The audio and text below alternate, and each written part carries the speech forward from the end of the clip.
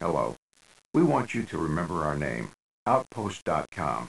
That's why we've decided to fire gerbils out of this cannon through the O in Outpost. Cute little guy. Fire. And again. So close. Fire.